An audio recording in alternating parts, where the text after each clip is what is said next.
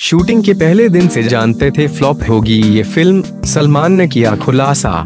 Big boss तेरह के बीते वीकेंड के वार एपिसोड में फ़िल्म बाला की स्टार कास्ट ने शिकरत की।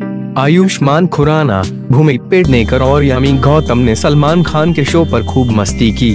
बाला की टीम ने भोजपुरी सुपरस्टार खेसारी लाल यादव के तीखे सवाल पूछे। साथ ही सेट पर लिट्टी चोखा भी खाया। बिग बॉस के सेट पर बाला की टीम ने पहले तो खेसारी लाल यादव से सवाल किए, फिर आयुष्मान खुराना ने सलमान खान से टेढ़े सवाल पूछे। आयुष्मान खुराना ने सलमान खान से सवाल पूछा कि कौन सी फ़िल्म के शूट के पहले दिन ही आपको मालूम पड़ गया था कि ये मूवी नहीं चलेगी? इस फ़िल्म के फ्लॉप होने का सलमान को था अंदाज़ा। जवाब देते हुए सलमान ने कहा कि ऐसी बहुत सारी फ़िल्में हैं। फिर जब आयुष्मान खुराना ने ऐसी एक फ़िल्म का नाम लेने की गुजारिश की तो सलमान खान ने सूर्यवंशी का नाम लिया।